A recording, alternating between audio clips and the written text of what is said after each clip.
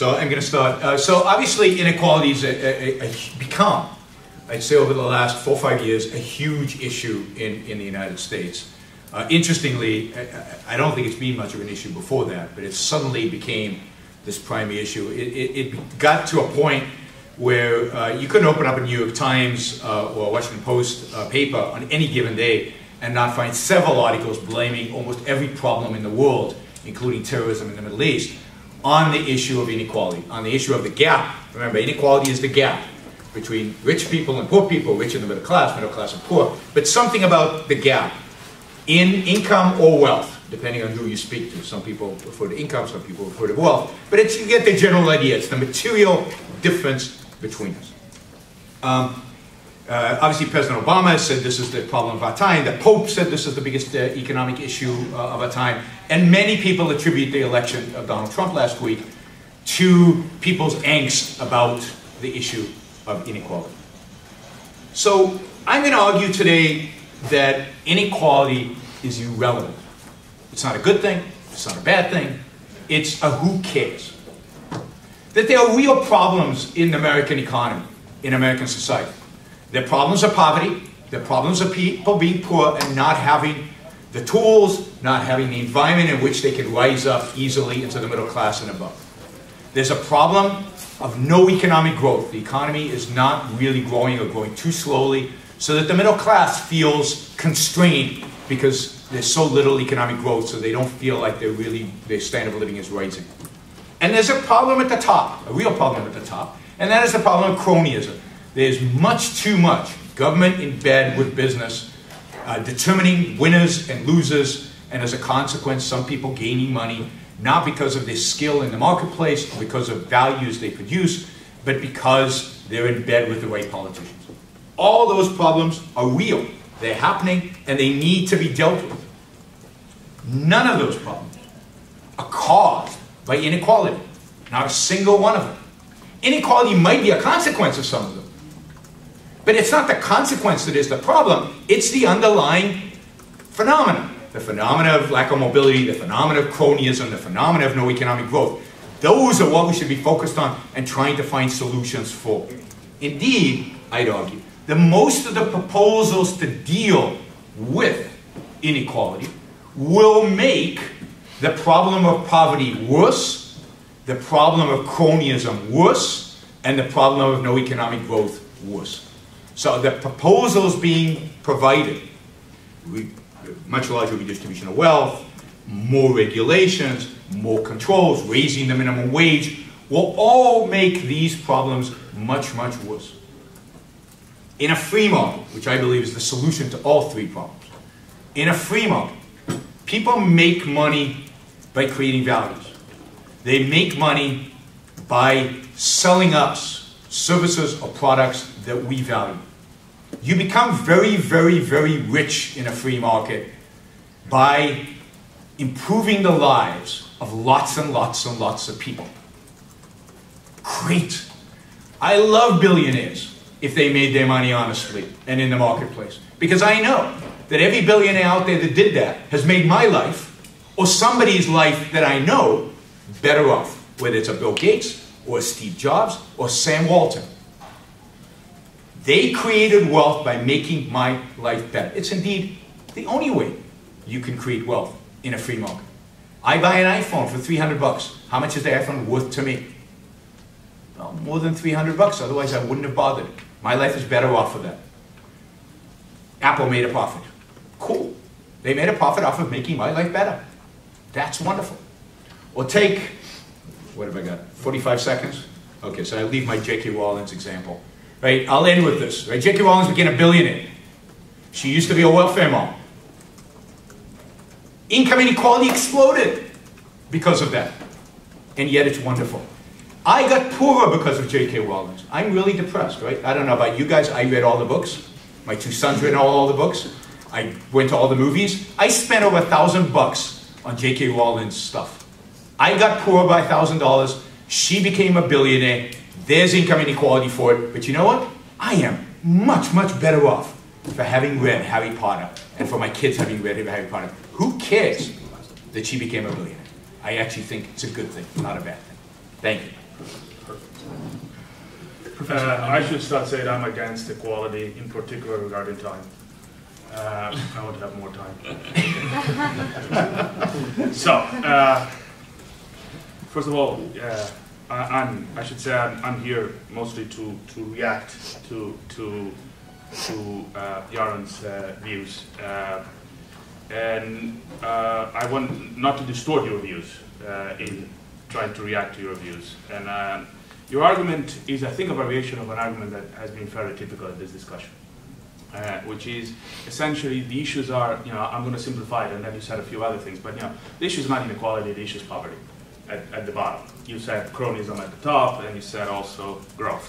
Uh, this is sort of the three sort of issues. But you know, in the debates of inequality, I'm not a, I do inequality to the, to the extent that inequality is relevant for Latin American economies. Uh, it's, it's a fairly common argument. You know, you shouldn't care about poverty, you should care about inequality. So there is no no relevance to the issue of inequality, what you call the gap. So the difference between the wealth, however you measure that, the wealthy and the relatively poor. However, your own argument of how we solve all of these three problems, which is the free market solves all the problems, is that you, uh, you said, I love billionaires. Uh, Bill Gates, Steve Jobs, Sam Walton, and J.K. Rowling. I hate her. I hate those films and that. films will That's uh, another story. But, uh, um, I like George Lucas, yeah, and Star Wars. That's an, another story. So, uh, the story has implicitly an idea that inequality matters. And so, so, so that inequality, you actually like inequality. That's what you're saying. You, you think inequality is good because inequality is functional to solve the problem. You're saying, again, part of what is the conventional story in economics, uh, we still teach it, I'm sorry to say, uh, to all students in a sense, the idea that uh, it provides the incentives. So the, the person that is poor, by the fact that they're lagging behind, they have to work harder and sort of improve. And, and I have problems with all of these arguments. Uh, so, so I have problems with the notion that uh, only poverty matters. I have problems with the idea that, uh, that uh, you know, that uh, incentives are what matter to create wealth. Um, and so I suppose we're going to go back and forth. I will have more time to, you know, uh, go into several of these. Let me just give the, the first sort of uh, shots at, at, these ideas. Uh, first of all, uh, I think at the core of this is a question of causality. So you also said, and again, quote, you know, correct me if I'm wrong, that you think that some of these three problems uh, um, are caused, you know, cause inequality. So, so uh, inequality is the result of, for example, the lack of growth. That's what you would sort of suggest. And, and that's fair enough. I think that there is a two-way road sort of in, in, in, that respect. But the problem is that inequality is instrumental in generating some of these three problems. So inequality causes some of them. Uh, so there is an issue of causality here, uh, at, I think, at the heart of the, of the differences in view. So I think that uh, there is significant evidence that suggests that uh, more egalitarian I mean, it's debatable, it's not you know, valid in all circumstances in all times, but there's a substantive uh, you know, amount of evidence that suggests that equalitarian societies tend to uh, grow faster, they have better social outcomes, including those associated to poverty, so more unequal societies will end up having not just higher levels of poverty, but you know, uh, worse health outcomes, uh, lower life expectancy. So the U.S., for example, even though it's a very wealthy country, has worse health uh, results, life expectancy, than almost all their peers in Europe, Western Europe, that are more egalitarian, even though we spend even more on health than they do. And, and there are several issues associated to, to, to inequality to explain that. I see that I have one minute. Uh, I also have uh, an issue with uh, the notion that, I mean, Bill Gates, where do I start? You know, he, he, he bought for peanuts uh, an operational system that he, you know, basically what he did, or, you know, his life better is by signing a contract with IBM. And, and that's the extent of his genius, and he got a monopoly. So you dislike monopolies, good lord, I don't know if that, the, the, if you look at how the internet and all of those things happen, you know, uh, and say the, the opposite word, it's not the free market and I, I don't like facilist solutions, that it's all the free market solves everything. I also don't think the state solves everything. So I'm going to give you a fuzzy sort of rage story. But, you know, it was DARPANET. You can sort of check your emails there because the military were, you know, funded by the state. and produced all of that technology. And you had, I have 12 seconds, and you know, and a lot of that was done by cooperation. So cooperation is as important as egoism and you know and the incentives of trying to better yourself. So cooperation matters too. All right, a lot to talk about. So we won't have any problem bouncing each other off of each other. Uh, let me be clear, just to clarify my view. Um, I don't believe inequality is good because it's functional or because it provides incentives. I believe inequality is good because it is just. Because inequality is what happens when you leave people free. If you look around the room, we're all different. We all have different skills, we all have different talents, we all have different incentives, different motivations. Um, some of us work really, really hard and we get really great grades. Some of us cruise a little bit in college. Um, would you want to give the people who cruise a little bit in college the same grades as those who work really hard and get straight A's? Do you want to give everybody A's even when some people are smart and some people are not so smart? The reality is we're not all equally smart. So inequality is a reflection of our metaphysical nature. It's a reflection of who we are and what we are. It's a reflection of our morality. The fact is, we're unequal. Now, some of us even make choices not to be rich, like anybody who's chosen to be a university professor, right? University professors typically... Already rich. I don't know that. some, some might be rich, some of us are not. We're not rich when we started. Um, university professors don't make a lot of money, but they're really smart. They have high IQs. They could have probably gone we could have probably gone to Wall Street or somewhere else and made quite a bit of money. Economics, finance, we know math, we can do this stuff, right? But we chose to be teachers because we love, hopefully, I hope this is true of most professors, we love teaching or we love research. We love the intellectual engagement and we're willing, Summers, man. we're willing to give up, yeah, we're willing to give up some money in order to do the fun stuff that we love. Life is not about money, but life is about inequality. Everywhere you look, there's inequality. It's who and what we are as, as a species. We're different. And if you leave us free, if you leave us free, then we're going to have different outcomes. So to me, inequality is a feature of freedom. That's why I love it. It's not a bug, to use tech terms, right? It's not a bug of freedom. It's a feature of freedom. Because I love freedom, and that's my key. I love freedom. I don't want people taking my stuff away from me in the name of some morality that they decide is good for me. I want to be free, and when you leave people free in any society, uh, what you get is inequality. Now, let me just address. Uh, so that's my moral point. My moral point is because I, I love individual freedom, because I believe individual freedom is the moral is the moral base. That's why I like I like inequality because it's the obvious, necessary outcome of leaving people free. Okay, let's get a little bit economics. What about these correlations? Well, look at the studies. Yes, Zimbabwe has very high inequality and has horrible health outcomes. By the way, how you measure health outcomes is very distortive, and well, we're not going to do a debate, hopefully, on healthcare, although we could. Um, the United States might have lower life expectancy for a variety of reasons, but if you have cancer or if you have heart disease, there is no better place in the world because survivability rates for cancer and heart disease in the United States are far higher than anywhere else in the world. Far higher, not even close. So there are reasons why life expectancy is not, we don't match other countries in life expectancy. Um, but these correlation studies, and it is, it's correlation, it's not causality, but more than that, it's if you look at the studies and look how they group countries that are unequal and countries that are equal and what they're actually grouping around, they're very dubious. Um, we can talk a lot about monopolies. I would love to stand here and, and defend Bill Gates. Uh, I have no problem, by the way, uh, in a free market of somebody having a very large percentage of the market. I don't think that's an economic problem. I don't think in history we've seen economic problems in a relative free market come out of so-called monopolies. Um, corporation, let, I'll end with this. Yes, I love corporations. Capitalism is the system of corporation. It's not the system of competition. The essential characteristic of capitalism is cooperation. You cooperate cooperation across within a company, but think about, you know who makes some of the stuff in this? This is an Apple, by the way. You know who makes some of the stuff in this? Samsung. So they compete. It's going to explode. that's, Apple has protected us from the explosive parts of the Samsung. Um, companies cooperate much more than they actually compete. The essence and, and the cooperation goes across with customers, suppliers, everywhere. The essential characteristic of capitalism is voluntary, win-win cooperation. I'm out saying. Perfect.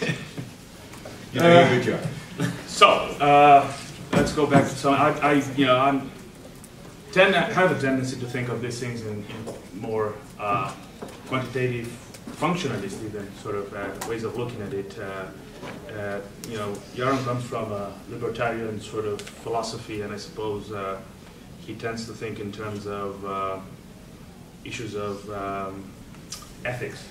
So that's what you're uh, referring to, and fairness and freedom. Uh, so I'll engage a little bit on that, but that's certainly not uh, what I think is the most relevant issue in the discussion of. But you know, it's fair enough. It's in the question there. It's inequality fair. I, you know, it's a complex question. So uh, a few years back, there was a study of capuchin monkeys, and they had to exchange a rock for a cucumber or a grape. And these are monkeys, not even apes. And the one monkey that kept giving the trainer a rock and got a cucumber after twice of this happening, he gets pissed off and throws the cucumber. He wants, you know, grape. He's not stupid. There's an intrinsically unfair uh, exchange that the monkeys, you know, the monkey is capable of understanding. So I think you said that inequality is a feature of the species. So I'm no, of free markets. Free markets. No, you, you said inequality. No, we're, yeah, uh, we're different. Okay. Maybe, but not fair enough. But, uh, and it's an intrinsic question of our morality, I think you said. So that would make us less than the capuchin monkeys. From what I understand, we evolved to have a sense of fairness.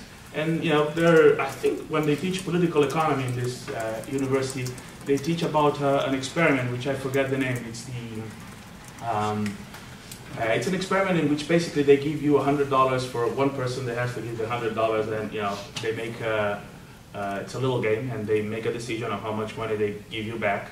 And, and the notion is that they're not close to 50%, and there's extensive studies of the this. The ultimatum game? The ultimatum game. So somebody was paying attention in that class. uh, and so good for you. Uh, so the ultimatum game suggests that we are hardwired to think in terms of fairness. Um, and, and that fairness is, it's not the fairness you suggest. The fairness of inequality is good, it's the fairness of some degree of equality is a good thing. Uh, and which again goes to the notion that because we lived, you know, in hunter-gatherer societies for, for uh, you know, millennia before we, we came down, yeah, right after we came down from the trees. And, and so that means that we are probably hardwired to think in terms of, of fairness and that kind of inequality. So when I think of fairness and freedom, freedom is another word that you used. And uh, have some time. So, and, and that comes very often in, in terms of the discussions, for example, of free trade, which I think it's a terrible misnomer. Uh, people that think about free trade, and I don't know your positions, maybe you're very radical in terms of this, but people that are in favor of free trade, they don't necessarily, they're not often against, uh, you know, saying, look, we, we're going to decide that uh, you cannot sell us poison. So there is a minimum of regulation that says, you know, uh, the things that are going to be sold in the market have to be, have some minimum standards. And that's already managed trade. So we're deciding that for phytosanitary rules, we're managing trade, uh, which seems to be a reasonable thing to do. So, uh, so the question we're discussing really is where do you draw the line, you see?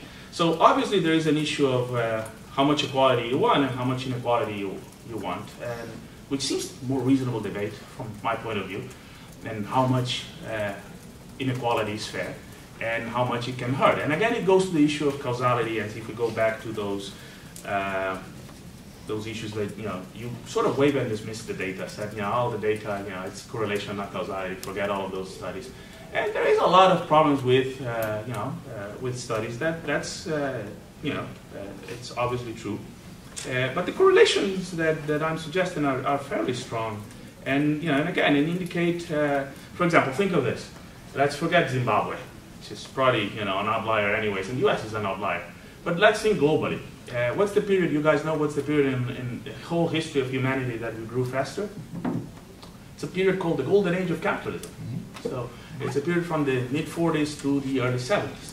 That's the, also the period in which the welfare state bloomed.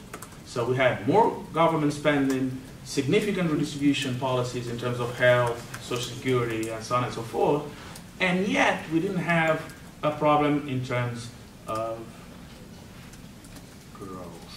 And I'm precise at five minutes. All right, well, there's a, are we still going? Yes. okay, so there's a lot there. Uh, I don't believe fairness is hardwired. I believe people's attitude towards fairness change all the time, and indeed attitudes towards fairness in Europe are very different than attitudes towards fairness in the United States, are very different than attitudes towards fairness, I suspect. I don't know this in Latin America, but certainly in Europe. About, what? About fairness. Attitudes in Europe and the United States, the attitudes towards fairness are very different. And attitudes towards fairness in the United States have changed over time. When surveys were done 50 years ago, 40 years ago, 100 years ago, um, asking questions about what other people made, people tended to have the attitude, I don't care, or good for them to being rich. We have become systematically over time more envious society. I believe that has to do with the rise of a certain philosophical attitude in this country that's more collectivistic, more egalitarian in terms of outcome. And again, we've seen this in this last election where both candidates, I believe, are both egalitarian and collectivistic, very collectivistic, both of them. So that we stop caring about the individual. We're not anymore individualists, which I think is the core individualist, not in the sense of being on a desert island, but in the sense of primarily caring about your own well-being. We've stopped being a society of individualists, which was the way this country was founded, and have become a society much more like Europe, which is collectivistic groupthink. I care about my position within the group rather about my position vis-a-vis -vis relative to my talents, my abilities. I would like to see us returning to becoming individualists instead of being servants of some collective, which psychologically I think distorts our perception of fairness. Um, I am for absolute free trade. Um, fraud is wrong. The only role of government, in my view, is to protect us from fraudsters and crooks and criminals and terrorists. And, but to protect us, to physically protect us, um, yes, if you're selling poison and pretending it's food, then you should be banned. But that's not managed trade. That's just basic function of the courts and, and government. Um, 40s and 70s growth, first empirically, uh, economic growth was much faster from the Civil War till 1914, till the break of World War I, and the 40s and 70s. Average growth then was higher. But 40s and 70s did not see a massive uh, role of government in spite of the rhetoric. 40s there was a massive role of government because of the war. So a lot of money was put. But standard of living in the United States, GDP went up during the 40s, which is bizarre. It tells you to suspect GDP numbers, but it went up dramatically during the war. Standard of living collapsed. Um, there was no welfare state in the 40s and 50s. Remember, the welfare state is the creation of the late 1960s. It's a creation of the Johnson administration, 65 to 68. So you had Social Security, but no Medicare, no Medicaid, no welfare state, no massive redistribution uh, title under welfare state. That's all uh, Johnson's Great Society 68. And guess what happens right after that? Right after that, you get the 1970s, a period of stagflation, massive inflation, horrible economic growth. I, I, I, always am bewildered by people who look back at the 70s and say, oh, what, what a wonderful period of time for America. It was one of the most horrible periods in, Amer in entire American history. It was a dark, violent, horrible era in America. This is why they were willing to elect somebody who was as radical at the time as, as Ronald Reagan was. Uh, it was a depressing period. I, I lived in the, in the U.S. for a little while in the mid-70s. Wouldn't want to go back then uh, in any respect. And New York was a dump. Nobody went out at night because it was dangerous.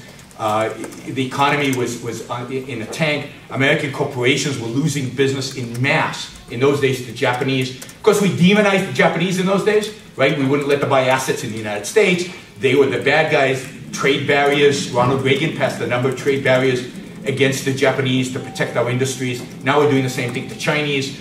Um, they are overpaying for our real estate, just like the Japanese overpaid for the, our real estate uh, back then.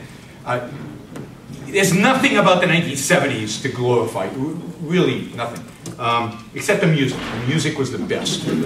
Popular music was very good in the 70s. Um, so, Molly, Hopefully not disco. No, no, not disco. No, but, just sometimes but yet, yeah, yeah, but then I correct myself. Well, no, no, not disco. Not disco. not disco. But hey, we had Pink Floyd. Yeah, no, it was good. The was fun. It was good. My son would say punk. Punk was awful. Um, off topic. All right. Um, so, if you if you really want economic growth, the formula is simple.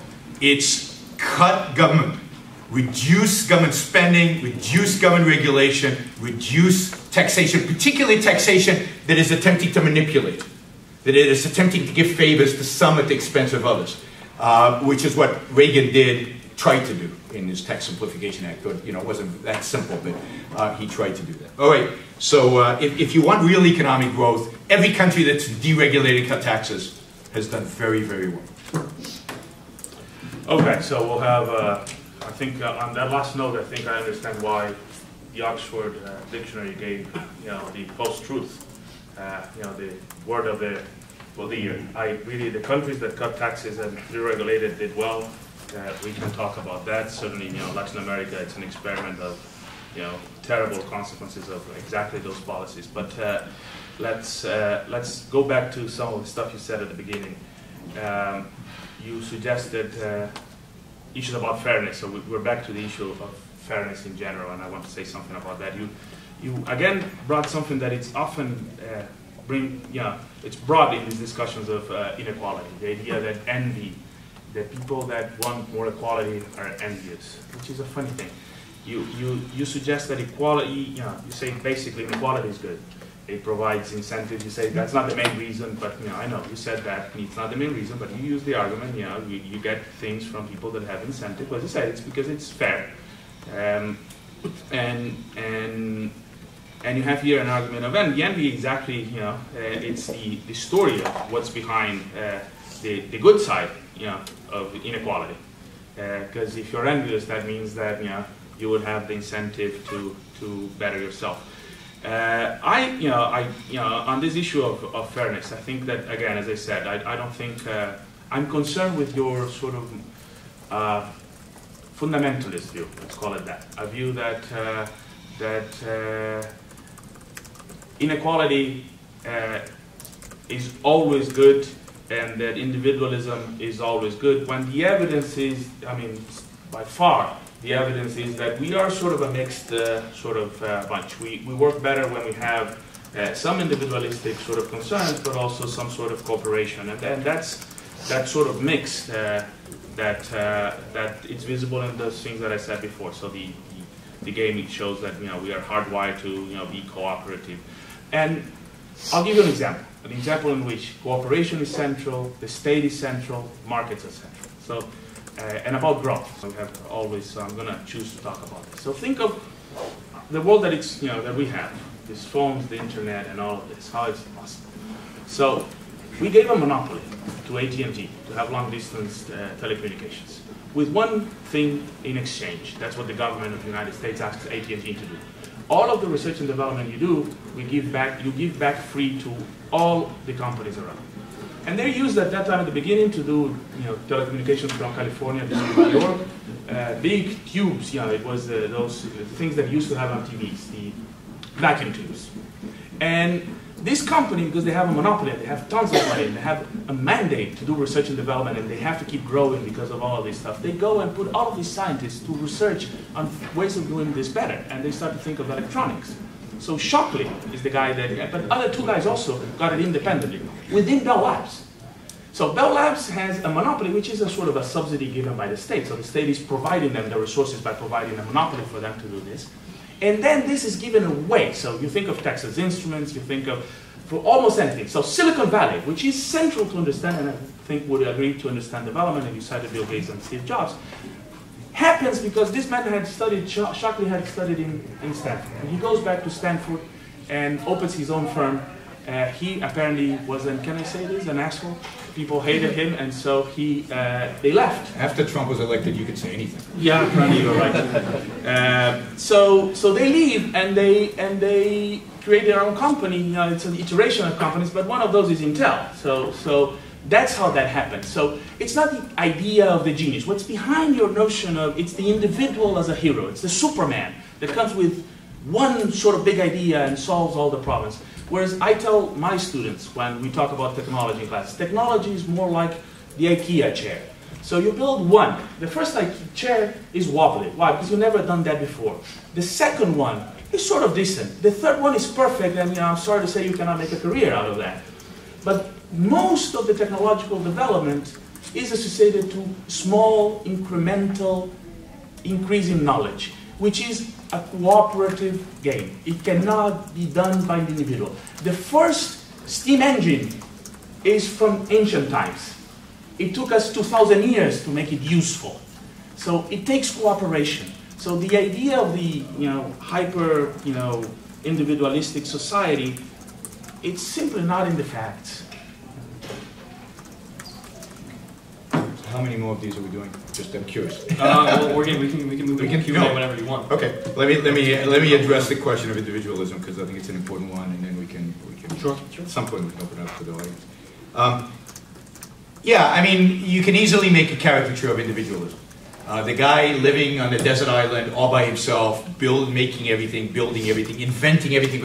God forbid, he doesn't read Newton, he doesn't read anything because he has to invent everything from scratch. But that's a caricature. That's not what individualism means. Individualism means that the individual is the moral agent. The individual i- i- is, i- the purpose of government is to protect that individual's life, and the individual's purpose in life is to make his life the best that it can be. Now, what would you rather be as an individualist, right? You're 100% dedicated to your own life. That's all you care about. Would you rather live in a civilized society and cooperate with people to make things so that and trade with them, win-win relationships with lots of people to grow and to become better and better and to and to recognize the fact that you're standing on the on the shoulders of giants who came before you?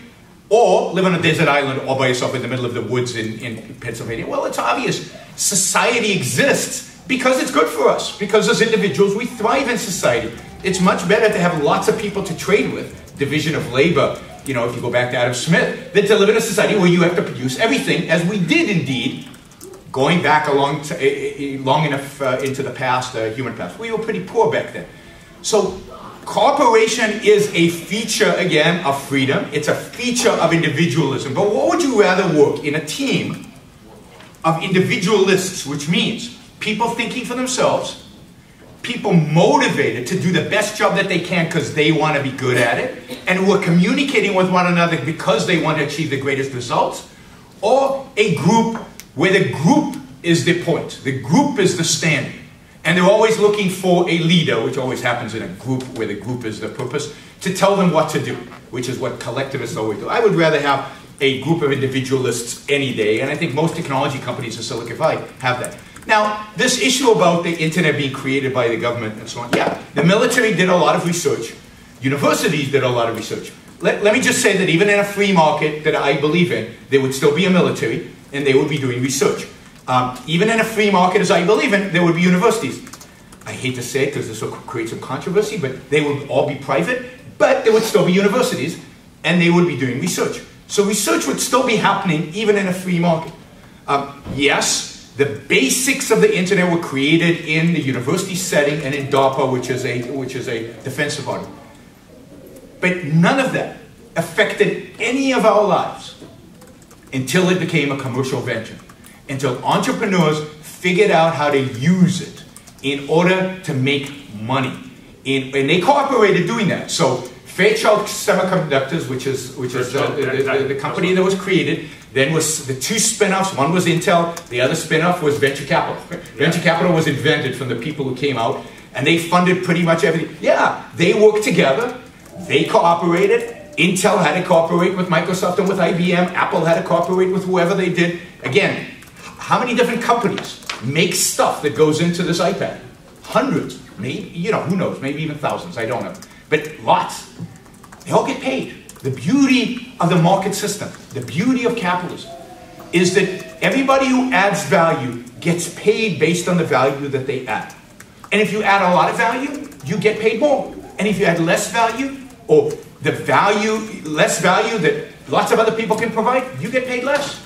That's the way the system works. And in that sense, it's a virtuous system. The more you add, the more you get. The less you add, the less you get. So it's so it's it's it's a free system in which people choose who to you know what to produce, who to work for, how much to charge for their labor or for their stuff. Um, and in my view, and, and, again, you know, we can discuss the empirical evidence, um, the more the government gets involved, the less innovation, productivity, and economic growth you will get. I fly airplanes a lot, a lot. Basically, the airplanes I fly in today are the same airplanes we've had for 50 years. The 787, the greatest, best Boeing jet, is the same as the 707. It's actually slower. I've seen a graph where every 10 years the airplanes get slower. The one innovation in aircraft, aircraft which was the Concorde, was killed. The automobile, the internal combustion, basically the same car we, we have today. Almost no innovation in industries where you have heavy, heavy regulations. Huge innovation. After AT&T is broken up, because you allowed for a free market. That's when innovation happens. Innovation happens when government steps back. When government stepped back from Silicon Valley, boom, it exploded. If government starts regulating Silicon Valley, which it's starting to do, you will get constrained. Taxis have not innovated until Uber showed up. And now that Uber is going to get regulated, that innovation is going to be crushed as well. So I'm do, out of time. Let's do one more five minutes and then we'll move into closing statements and then we'll move into Q&A. Third week, okay. Okay. Um, so, uh, society exists. Do you like Maggie, Maggie Thatcher? Um, uh, yeah, yeah. She, she would wear my say that society didn't exist? No, she never said I thought she did. I mean, there's a sense in which she, society does. I thought she did. But maybe I'm wrong. Okay, fair enough. At any rate, uh, I'm glad you think society exists. That's a step forward. Yeah. So we're, I, I we're moving. We're moving along. I'm, I'm making you move. So. Um, so, uh, you know, talk about caricatures. Uh, you know, the group is the purpose uh, and only government. What I suggested is that, you know, technological change depends on cooperation. Depends on cooperation of government, markets. She said there's no such thing as society. Yeah. There you go. Yeah. So you and admitted that there is such thing as society. And in the context, so, in the context, she, in the context she said it, I agree with her. so we'll get to that context. Fair enough. Uh, so.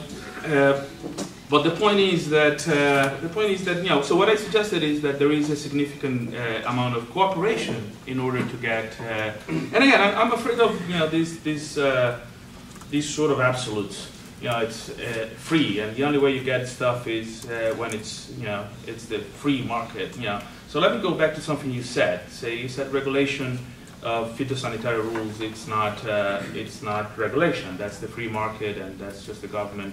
Well, it's the point. It's the government saying, you know, here's a regulation. Here's, you know, in any trade agreement, there is a regulation that says you cannot, you know, sell these sort of things because you're going to be responsible in a court of law. And that's written in law, so that's a regulation. So this is a question of, you know, it's not whether you're half pregnant or not. You already admitted. So this is a debate between Keynes and Hayek. Hayek says, yes, I admit this, that, and the other. So fair enough. So now the discussion is, where do you want to put the line? By the way, you're already pregnant, man. You know, you admitted that you want some sort of regulation. How much you want? Fair enough. You want less, I want more. But you admitted you want some. So it's not no regulation. So the absolute already vanished. I also don't want, you know, if you're going to make caricatures, I don't want to be North Korea.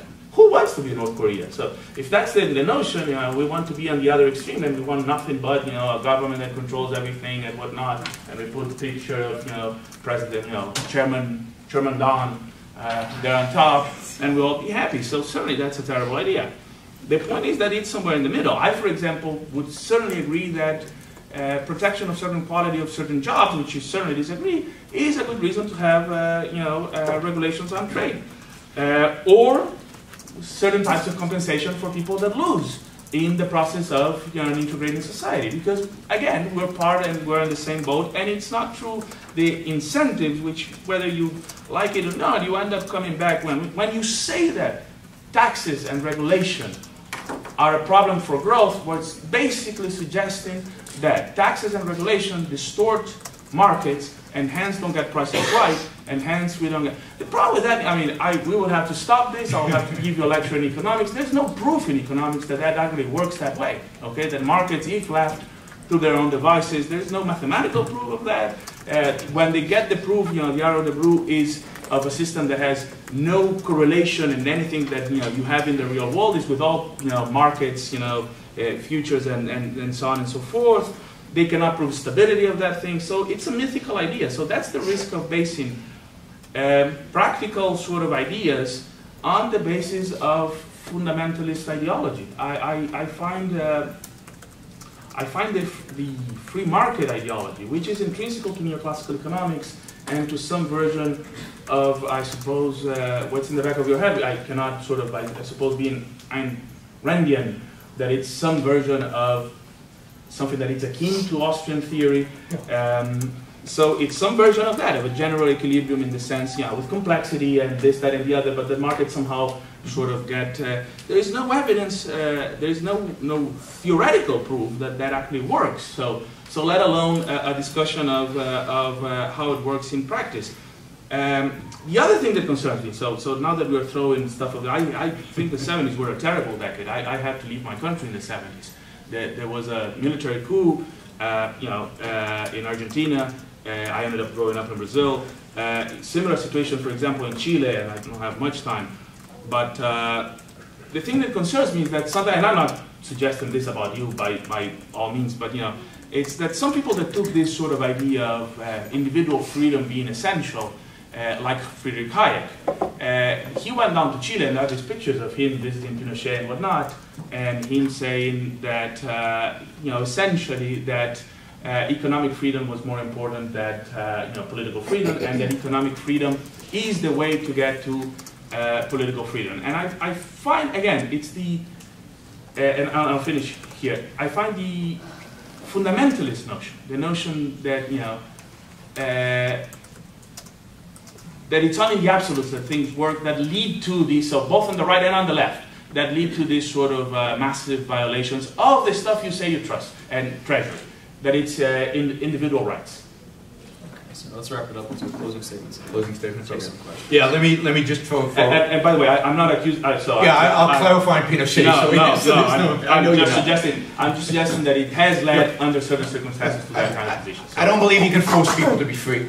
And I don't think you can kill people in the name of trying to get other people to be free like Pinochet did. So I'm, I'm very much opposed to Pinochet, even though the economic policies he put in place to a large extent by accident, uh, not because he believed in them, but because he just happened to put in the right people, actually led to Chile going from the poorest country in Latin America to being the wealthiest on a per capita basis in Latin America. But that does not justify anything else that he did. Um, look, I'm a fundamentalist. I believe in fundamental truths. I believe in the sanctity of the individual. I believe this country was founded on the principle of sanctity individual. Unfortunately, the founders were not very consistent about that because they had slavery. But that is the idea that is, is crucial and it makes this country exceptional, and I do believe in American exceptionalism in that sense. Uh, I believe in individual freedom and individual liberty, um, and that what the role of government is should be limited to the protection of individual rights. So every law that comes before government or Congress or, or should be evaluated not based on its utilitarian uh, uh benefits or costs, not based in, in, on which pressure groups want what, which is how it's based today in my view, but based on does this law protect individual rights or doesn't? And individual rights are very are something very clear. They are the freedom to act, to gain the values necessary for your own life. It's freedom of action. That's what individual rights protect. Your ability to do what you believe is necessary for your life. As long as you don't violate other people's rights, and the only way to violate other people's rights is by physical force or fraud. That's the only way to violate other people's rights. So the only job of government is to protect us from physical force or fraud. All other economic or social regulations should be gone. And that, that's true of the bedroom as much as it's true of the of trade, of the boardroom. Right? Government has no business in our lives. It has no business using its coercive power to shape and determine the, our behavior. If I want to buy something from somebody who happened to be in China, it's none of the government's business. It's none of your business. And indeed, trade, for example, doesn't happen between countries. The United States doesn't trade with China. I trade with some Chinese guy. Or Walmart trades on my behalf with some Chinese company. It's none of anybody's business what happens in that transaction any more than it's in California's business whether I trade with somebody in Arkansas or in Pennsylvania uh, here. The government has no role unless what I'm doing is causing, is, is defrauding you, or using force on you in some regard, or poisoning you in some regard. That is violating your rights, limiting your ability to act in a physical way. So, the fundamental here is not, so there's this distinction between law and regulation, but I don't want to get into that. The key is, is it protecting individual rights or isn't it protecting individual rights? So morally, government has no business in trade. Government has no business in the internet or in automobile regulations or any of these, uh, any business. The government has no business in business. Now, I would, I would, love to, I would love to be able to rewrite the American Constitution. Um, and have a separation, just like we have a separation of church and state, which I think should be taken a lot more seriously than most people do. A real separation of church and state. I would like to see a separation of economics from state. I don't believe the state has a role in economics. I don't believe it should try to establish economic behavior. I don't think it should start try to protect certain workers and not protect other workers, or bail out certain firms and not bail out other firms, or determine how much money we should have in the economy or not. I think the government should be neutral when it comes to economic policy. There should be a Treasury Secretary in that sense. The markets, we should let markets work, unregulated, uncontrolled, un, uh, uh you know, un, without the imposition of coercion. Government, as, as um, what's his name, Washington, as President Washington said, and I think in his second inaugural address, government is a gun. The essential characteristic of government is force. That's the difference between government and any other human institution. Guns don't belong in schools. Guns don't belong in boardrooms. Guns don't belong in bedrooms. Guns don't belong in our lives other than to defend ourselves. That's the role of government. Self-defense. That's it. Uh, I have to say something about society, because uh, I think Margaret Thatcher was actually quoting Ayn Rand in a sense. Uh, and what she said is, in, in reality, there's no such thing as society. In reality, there are only individuals. But individuals come together and they form groups. Groups in that sense exist, but they can't be the primary. The primary is the individual. Groups are there when, when they should be voluntary. Groups are there in order to, because we voluntarily choose to associate with other people in cooperative ventures in order to enhance our own lives. Uh, okay, so let me uh, say a couple of things. Uh,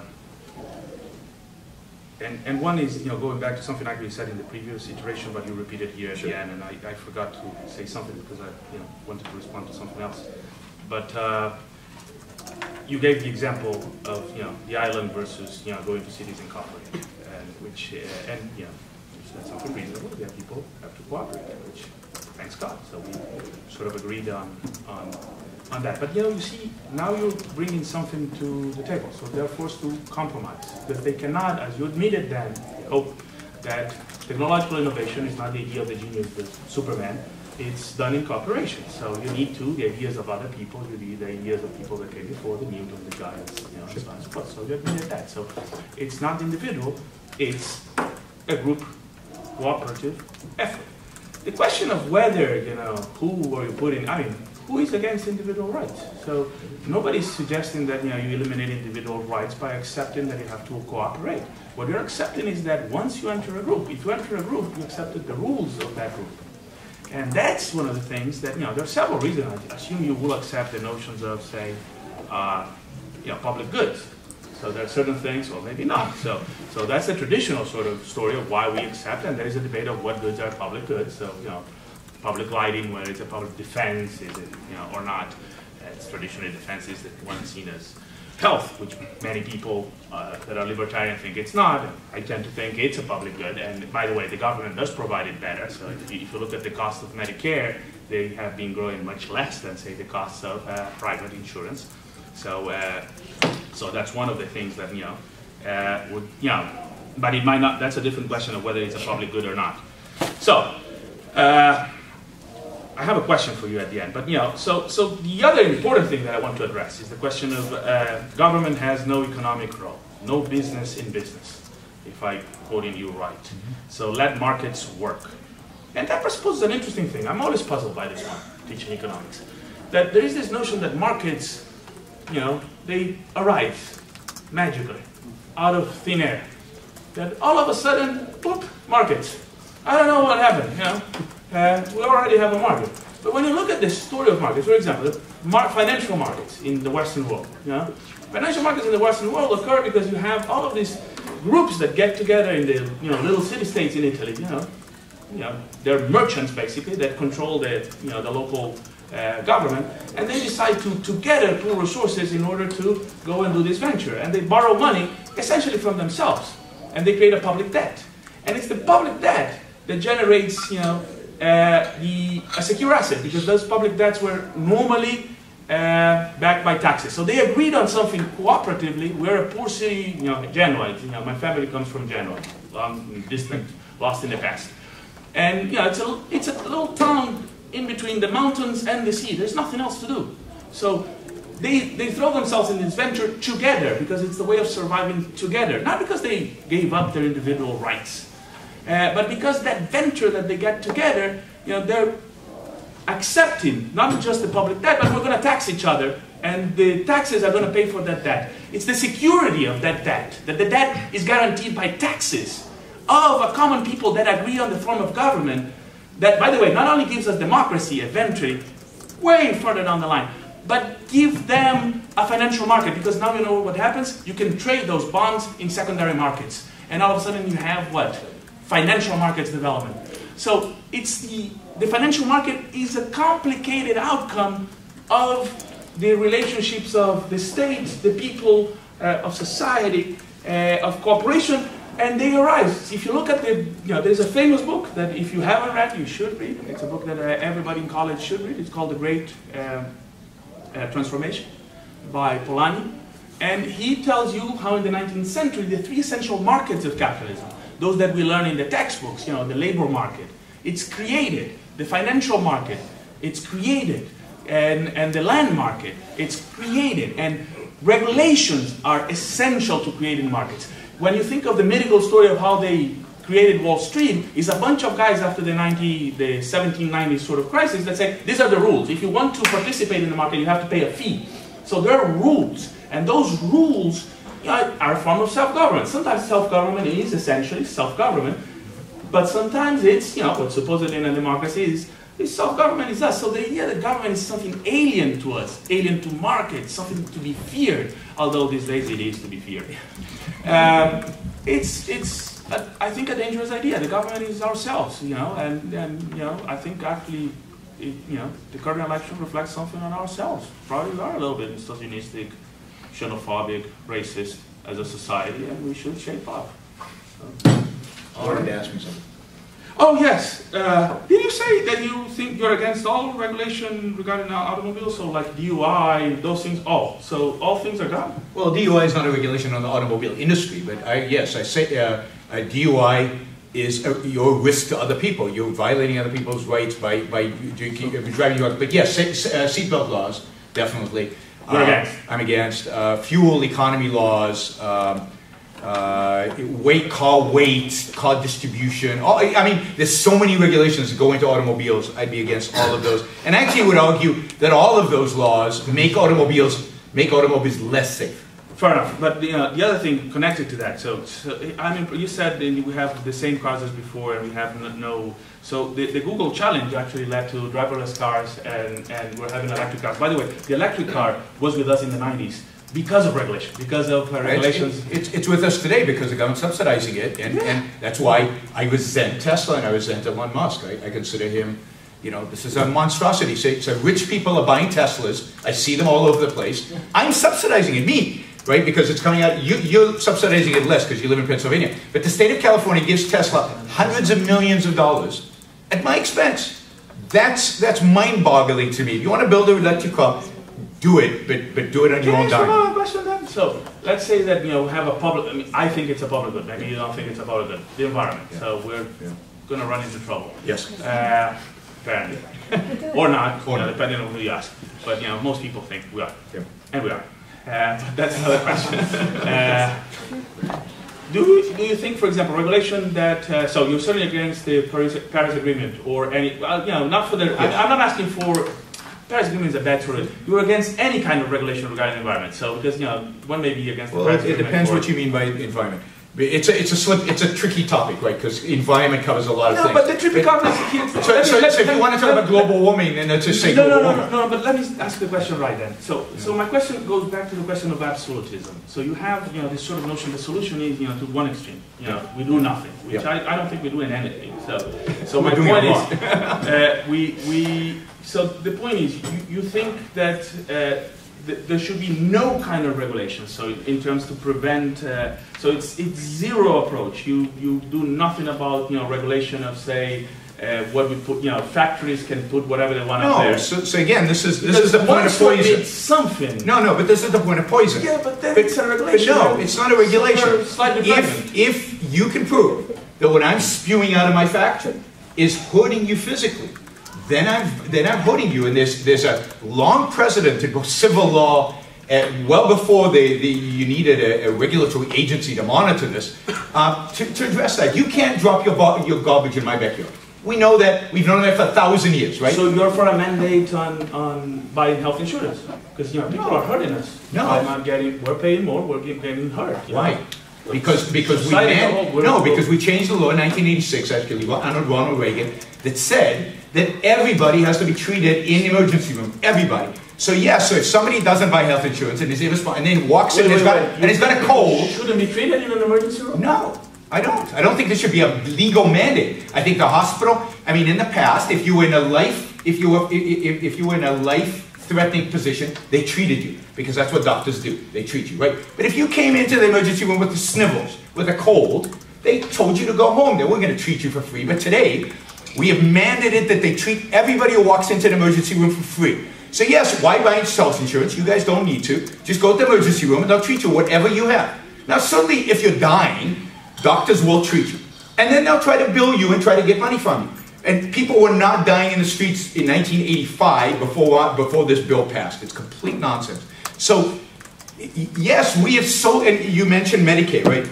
The reason Medicare's costs are cheaper is because they buy in mass and they squeeze doctors. So doctors now, in order to make back the money that Medicare squeezed out of them, raise their fees so the insurance companies has to pass it on to you. So us buying private insurance are subsidizing Medicare.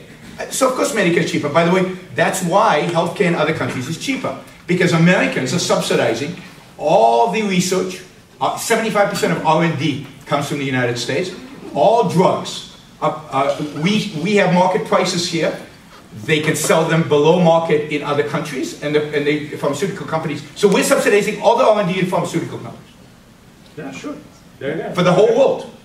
And that's why they have good health care, because we're paying Well, a not lot for of the money. whole world. The- the- you know, the- if you look at pharmaceutical corporations, Western Europe has a few that are also relevant. So, but you know, it's, it's also it's also funded Because by we're the free. governments of Western European countries. So yeah, sure.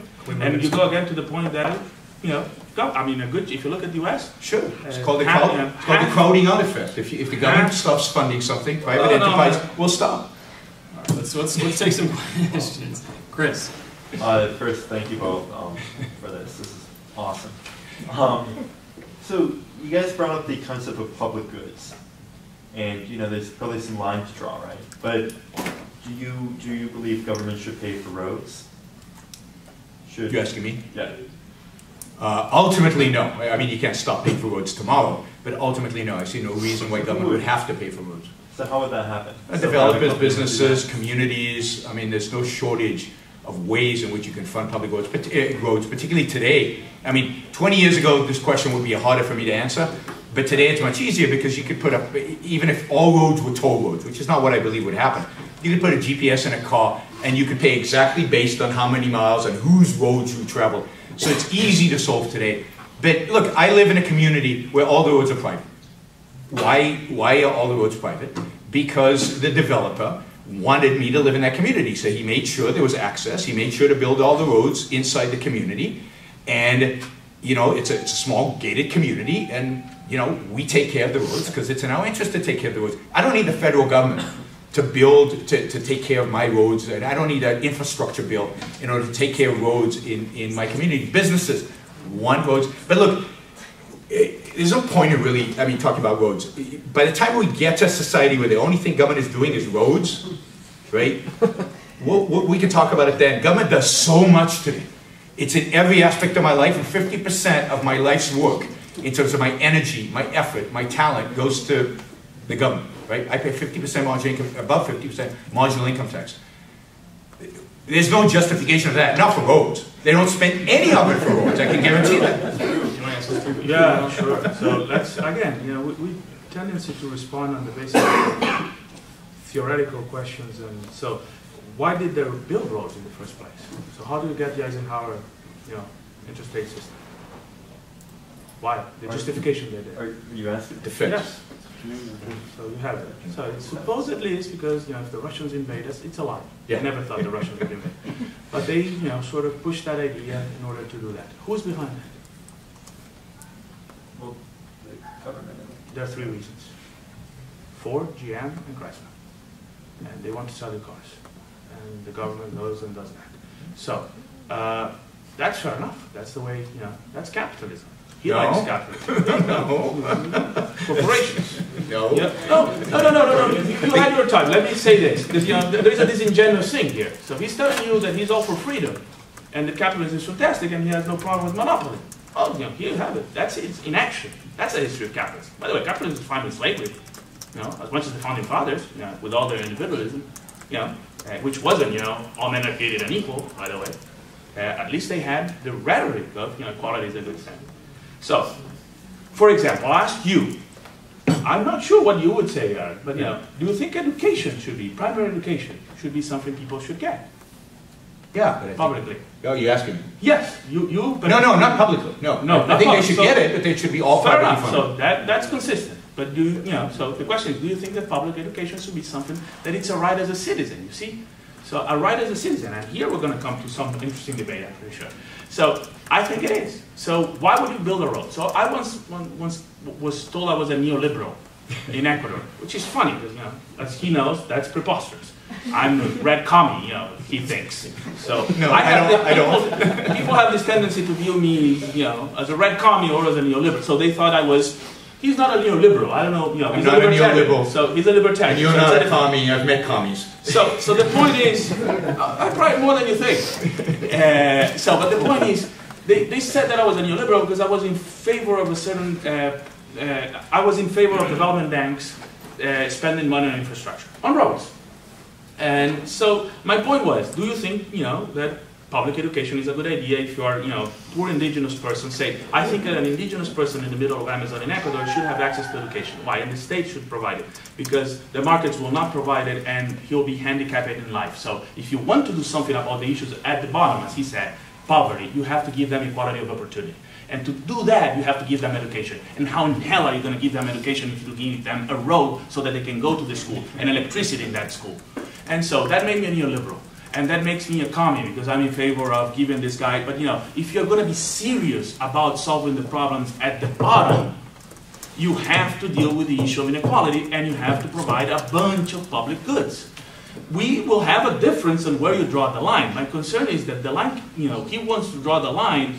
Good Lord, it's like you know, it's gone. Way over there. And you know, and I think you know the line is somewhere. You know, and mind you, I think also that not all societies want to have the line in the same place, which is a reasonable thing to do. And that's why when they're democratic, they actually can choose and decide where they put their line and how much you do it. But the, question here, and, and I go back always to the question of pregnancy. I don't think pregnancy is a question of you know.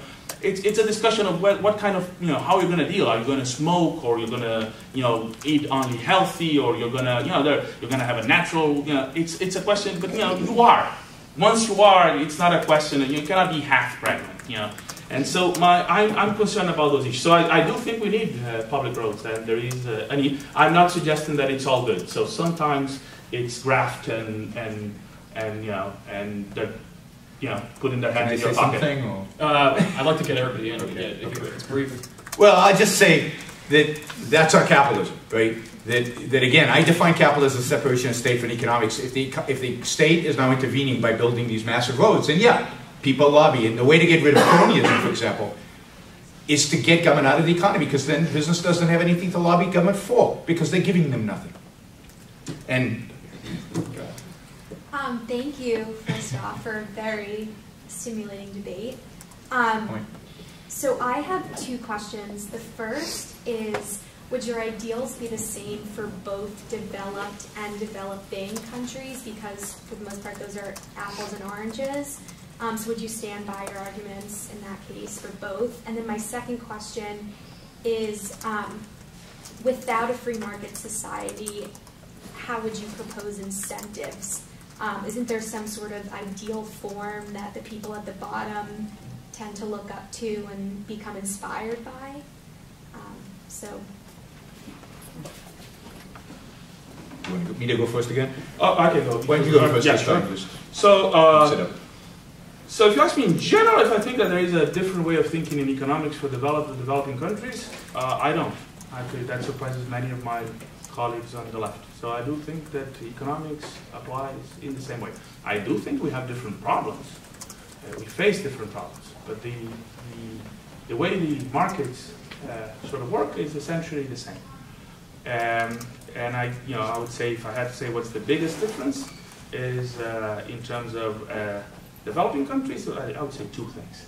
So one thing is that uh, most of the technological innovation is done in developed countries, and that has a tendency to be uh, self uh, uh, path dependent. So once you go down one line, you reap benefits. There is a thing in technology that comes from the discussion of philosophy of science that's called technological paradigms. So if you're ahead development, sometimes it's bad, by the way.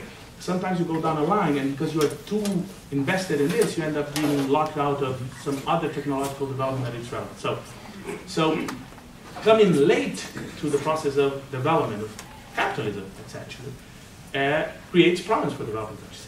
The biggest one is that we need always foreign currency. And not having strong currency, not having the dollar essentially, or the pound before, or you know, the Dutch guilder before, is a problem. So we tend to borrow, borrow in, not in domestic currency, which is what we were talking about and we borrow in foreign currency. So you have cycles of default and whatnot, and essentially stated two collapses of the terms of trade and stuff we sort of have. So currency crisis and what. So what I, do I think about free market society and alternatives? I'm, you know, I, one of the things the economists do that I don't do is I don't do uh, utopia. I, I find that, and I, you know, that's part of my issue with Yaron. I think that he does utopia in the real world. He thinks that these utopia of free markets solve all the problems and radical individualism. And I, I think that's an utopia. And, and I'm very scared of utopias. By the way, I'm scared when you say we shouldn't treat, most of the people that go to, you know, uh, emergency rooms, they don't have flu problems. The pe- pe- you know, workers, you know, they avoid going to the emergency room because if they miss a day of work, you know, they miss their, their paycheck.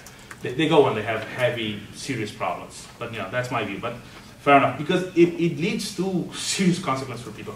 So I, I don't know what would be the alternative. What I tell you is that we don't really have a free market society. We do have a mixed, uh, so, you know, in the Western world, mixed societies, and and and I'm okay with that. The point is how you know. So what would be this? I I you know I do like the idea of, uh, of uh, Scandinavian you know social democracy. Sure, is it adaptable and something that you can use in the U.S. or say in Brazil?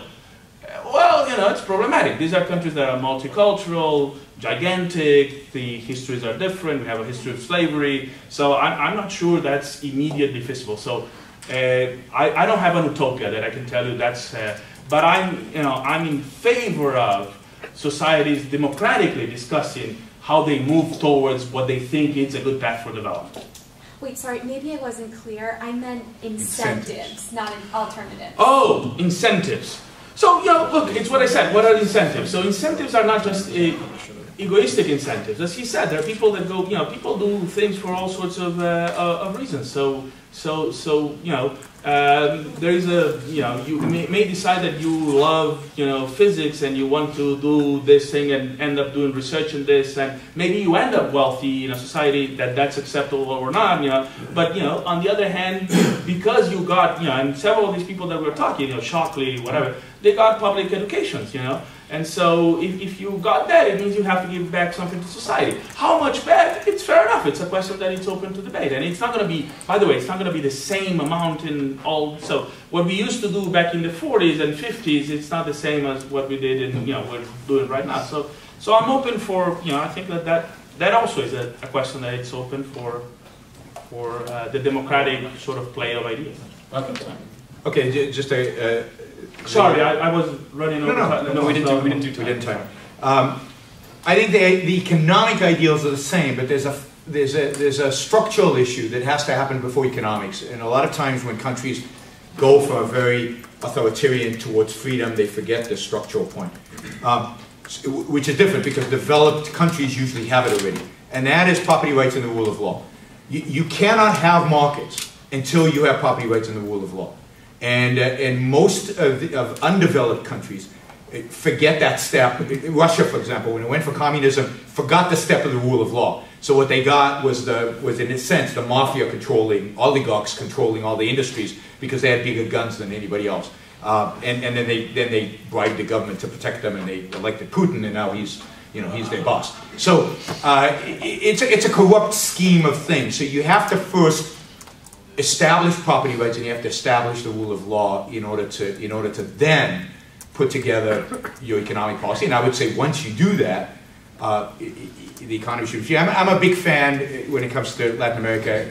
My guess is you're not, but I don't know. Of Hernando de Soto, a Peruvian economist, who says that one of the ways in which you would you would restructure Latin American economies is by is by uh, giving property rights to peasants right? Give them capital in a sense. They, they, they own the land anyway. They've been on this land forever. They, they cultivate, give them property rights, and then they can use that as capital to do other things, and that's how you, how you change the dynamics in Latin America. And I'm a big, big supporter of that, big believer in that.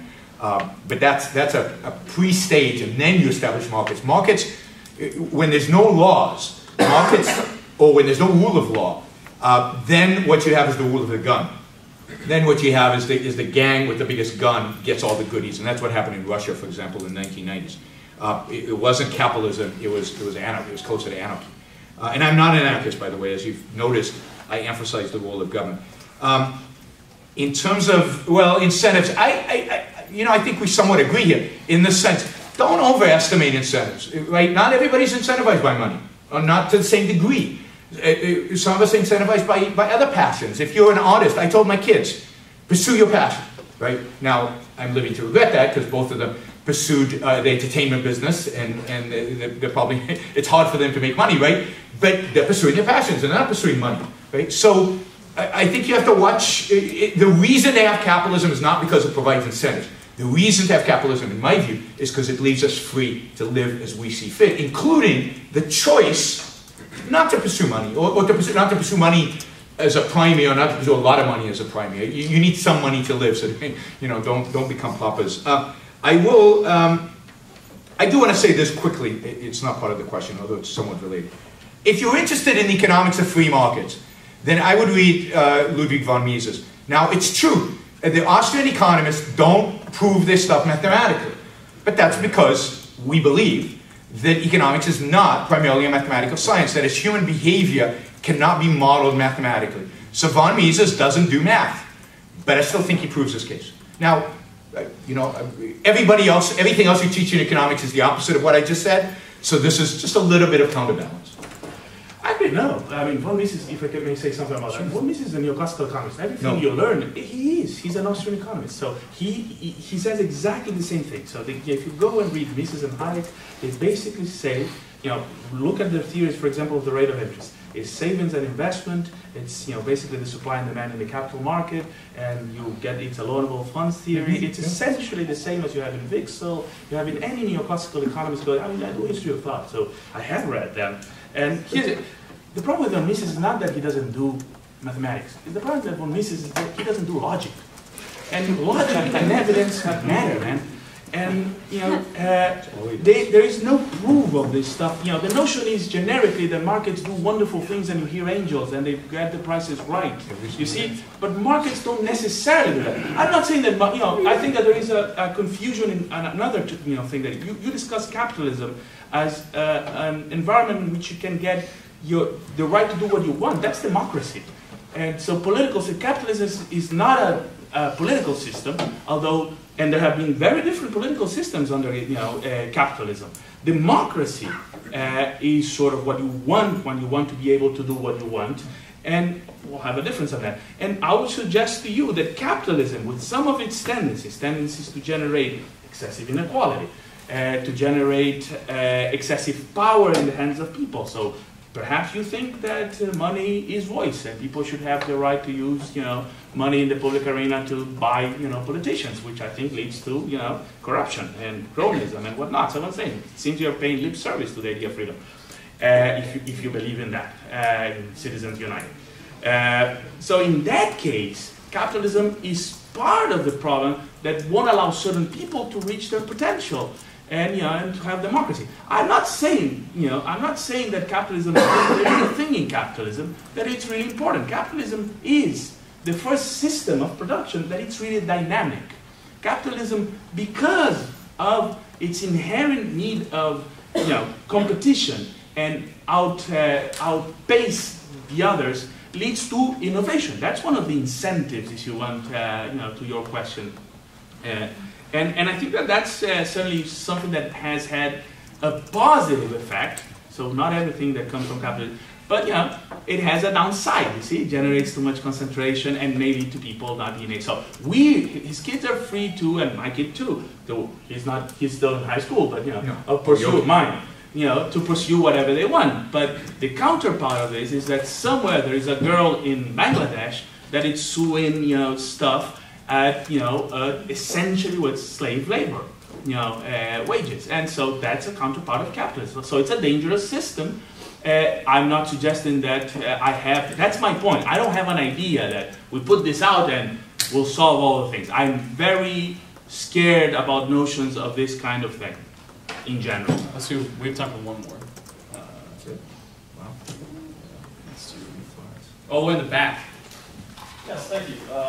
I hope this isn't a practical snare, but I thought this topic of healthcare regulation and sniffles was interesting, you brought it up recently. Uh, the expectation that diseases will be treated.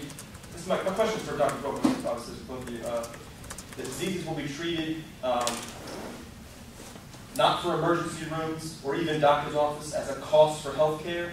Uh, for example, as making hospitals less safe because of the sniffles, because of bacteria and viruses that the regulations might um, lead people by way of an expectation that healthcare will pay and treat anything.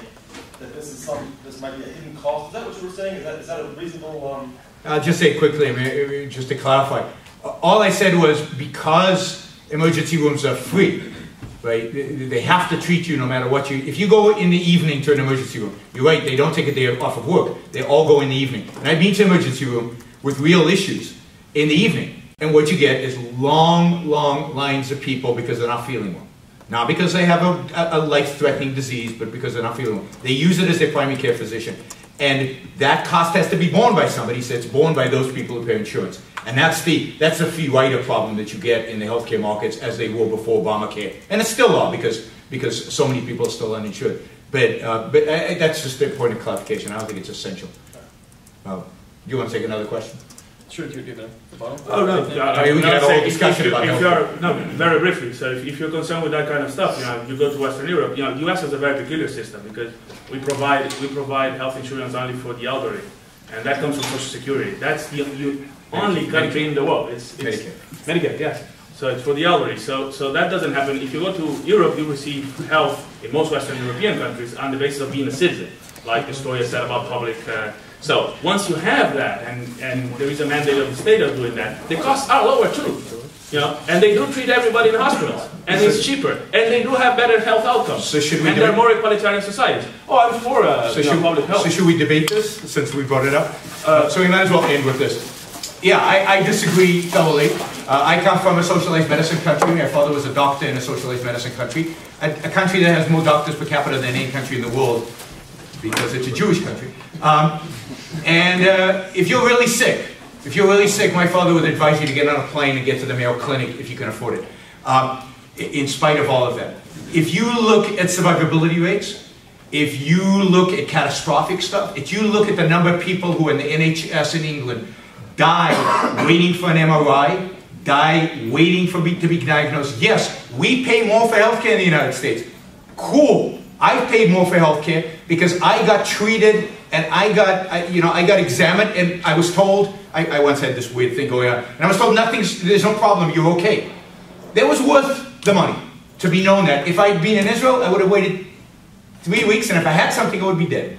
So, um, and as I said, de facto, we still have private healthcare in the United States, subsidizes the healthcare for the rest of the world. So, no, healthcare outcomes here are much better. Um, if you look, if you look at the numbers, so let me let, let's let's look at the numbers, right? If you're a Swede in the United States, you live as long as a Swede in Sweden, or maybe longer. It, it- look at that. Look at the data. If you're a Japanese in the United States, Japanese live longer than any people on the planet. Uh, if you're Japanese in America, you live as long or longer than a Japanese in Japan. Uh, when you control for the fact that we are so diverse and that there are enormous genetic factors that determine longevity, then the differences in life expectancy disappear uh, in the United States.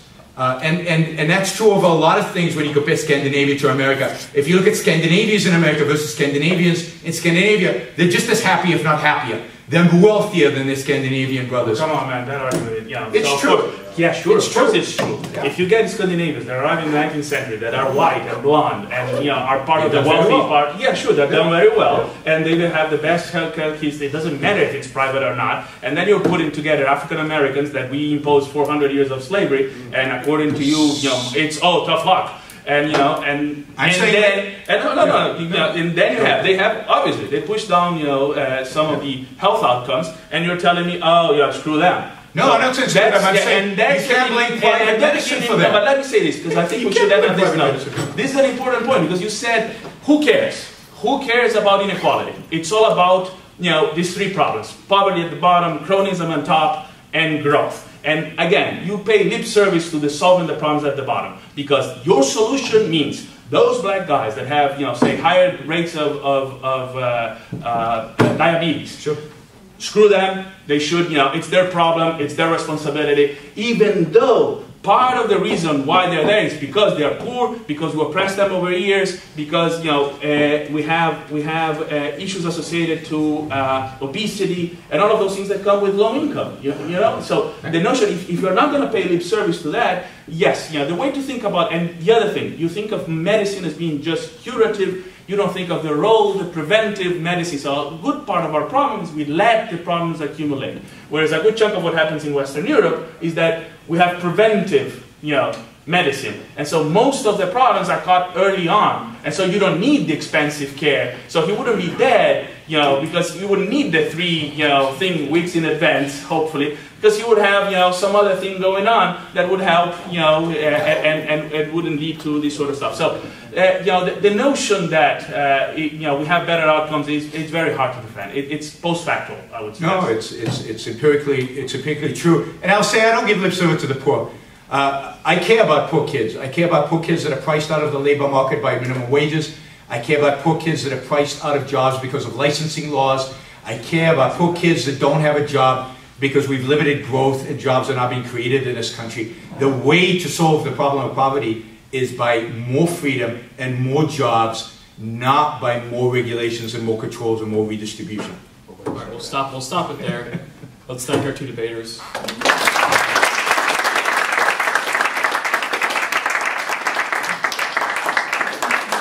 one's for sale on the table.